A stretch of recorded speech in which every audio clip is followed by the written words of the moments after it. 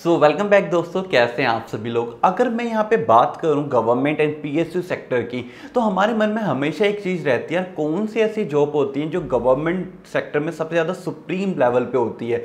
Yes यहाँ पे मैं बात कर रहा हूँ यूपीएससी की I am damn sure I am two hundred percent sure कि अगर आप में से कभी भी किसी भी पर्सन ने गवर्नमेंट या पीएससी सेक्टर के अंदर करियर बिल्ड करने का सोचा है तो उसने यूपीएससी और एसएससी जैसी बड़ी ऑर्गेनाइजेशन का नाम डेफिनेटली सुना होगा।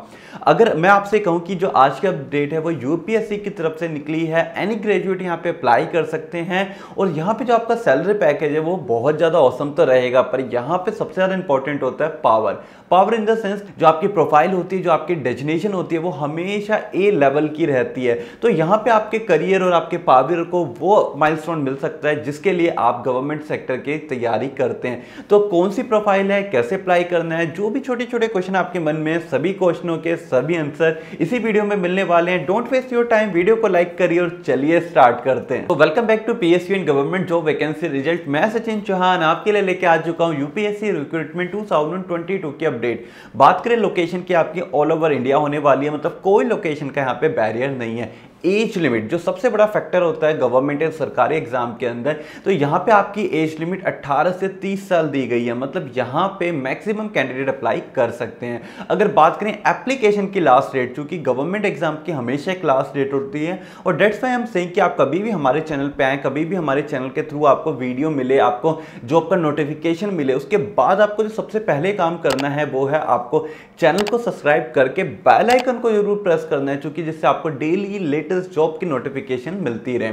तो आपकी जो लास्ट डेट होने वाली है फॉर्म अप्लाई करने की, वो 26 अप्रैल होने वाली है। तो डोंट वेस्ट योर टाइम आप जल्दी से जल्दी नीचे वीडियो के डिस्क्रिप्शन में आपको लिंक मिला है ऑफिशियली वेबसाइट का, जहाँ पे आप सारी चीज़ें चेक भी कर सकते हैं और आप डायरेक्टली अप्लाई भी कर सकते हैं। तो बैक टू द कंटेंट आते हैं, बात करते हैं क्वालिफिकेशन की और आपकी डेजिनेशन की और आपकी प्रोफ़ाइल की। तो यहाँ पे जो दो प्रोफ़ाइल पे जॉब निकली है, पहली है आपकी I Indian economic service second है आपकी ISS Indian statical service yes तो दोनों ही प्रोफ़ाइल पे any graduate any post graduate apply तो कर सकते हैं बट अगर आपकी क्वालिफिकेशन इन्हीं सभी स्ट्रीम से रेलिवेंट है तो आपके लिए काफ़ी ज़्यादा बेटर रहेगा, क्योंकि आपका जो एग्ज़ाम होने वाला है, उसके अंदर जो एग्ज़ाम का क्राइटेरिया एग्ज़ाम की परसेंटेज है, वो इस तरीके से डिवाइड करी गई है कि आपको अपनी कोर स्टडी पता होनी चाहिए। मतलब जो आपने अपनी ग्रेजुएशन में पढ़ा है, वो चीज़ आपको यहाँ पे आनी चाहिए। तो right now we will discuss कि एग्ज़ाम का पैटर्न क्या होने वाला है और किस तरीके का आपका सिलेक्शन प्रोसीजर रहेगा। तो सिलेक्शन प्रोसीजर को यहाँ पे बेसिकली दो पार्ट में डिवाइड करा है। पहला पार्ट आपका रहेगा, जिसके अंदर एग्ज़ाम होगा।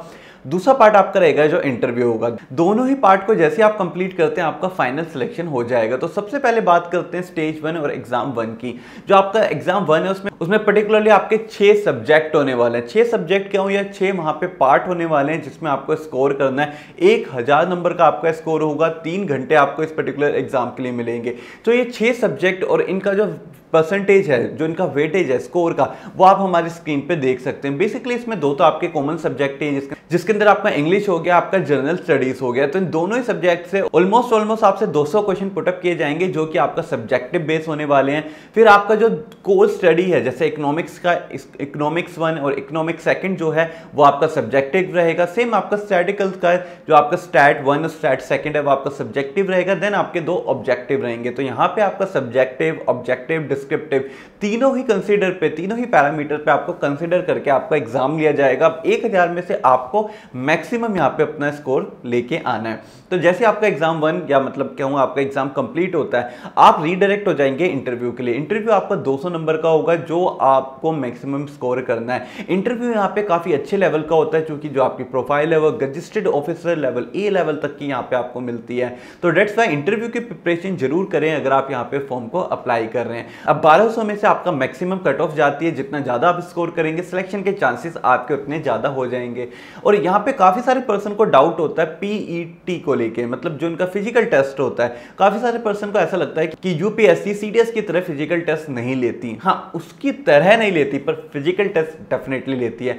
जो आपका फ़िज़िकल टेस्ट है, वो क्वालिफाई इन नेचर होता है। मतलब यहाँ पे बहुत जर्नल और बहुत बेसिक टास्क दिया जाता है। जैसे आपको एक किलोमीटर जस्ट वॉकिंग करनी है। इस टाइप का आपके बहुत छोटा सा टास्क होता है, जो आप इजिली परफॉर्म कर सकते हो, अगर आपको कोई भी प्रॉब्लम नहीं है मेडिकल से रिलेटेड तो ये थी इस पर्टिकुलर जॉब का पूरा डिटेल ओवरव्यू जिससे आपको एक बेसिक आइडिया लग सकता है कि you are suitable candidate yes और नोट नीचे मुझे कमेंट सेक्शन में ज़रूर बताना, आप में से कितने कैंडिडेट यहाँ पे अप्लाई कर रहे हैं। अगर आप अप्लाई नहीं कर रहे उसका रीजन क्या है? क्योंकि अगर आप हमारे साथ रीजन शेयर करोगे तो वी विल ट्राई कि आपके अकॉर्डिंग नेक्स्ट वीडियो में लेके आए। मैं सचिन चौहान, आपसे मिलूँगा नेक्स्ट वीडियो में नेक्स्ट कंटेंट के साथ। जय हिंद।